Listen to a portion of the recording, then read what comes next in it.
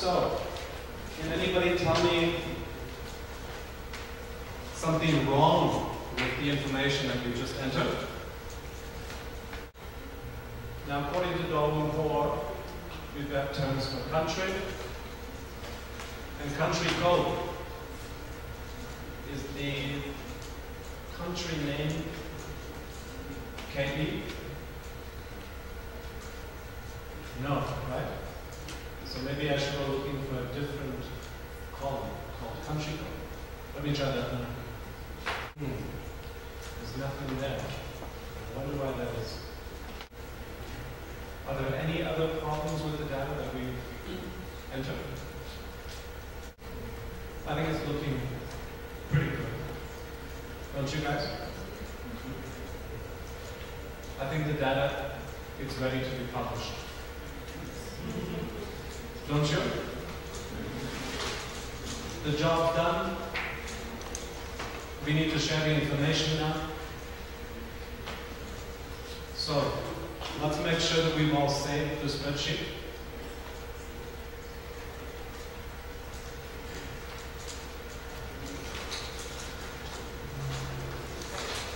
Okay, so we'll save that.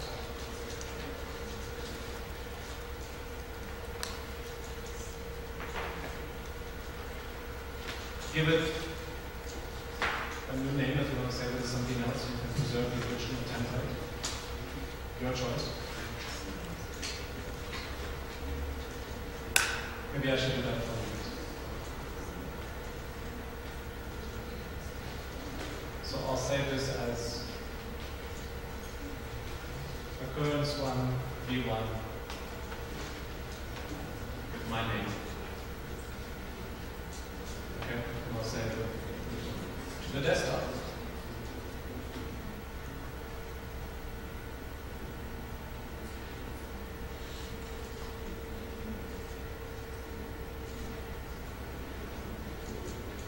So, if we can all return to this page now. So what you're going to do is you're going to choose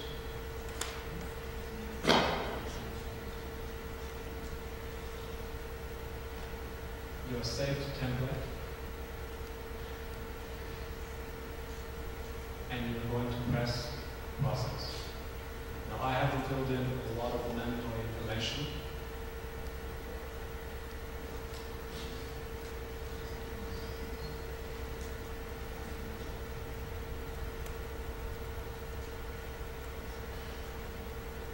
Live demos are always quite risky, as you can see. Ah, there were some errors. I was unsuccessful. So, what does it say?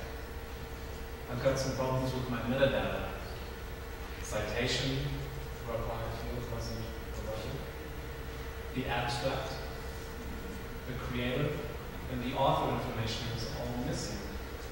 So unfortunately, my publication failed. Now, assuming that you've all filled in your information appropriately, you shouldn't see those same errors.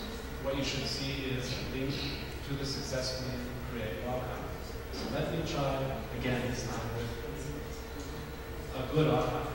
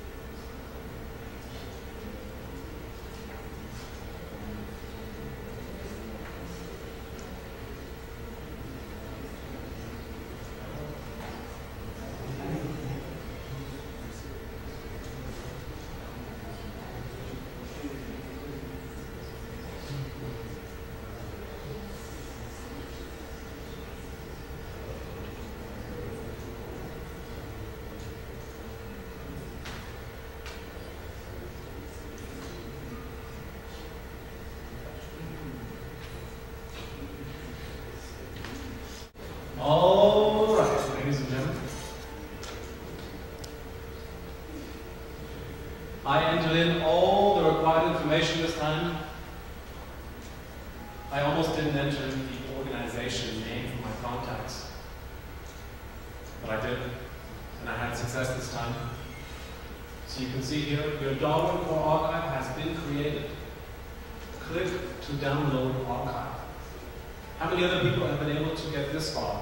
A show of hands. Anybody? You all beat me, that's pretty impressive. At least 10 of you, it's great. So, once that's done, let's decompose what we've just created. Let's deconstruct it, let's. What do we have? We have a downloaded archive, a dot .zip. That's because the archive has been compressed in zip format.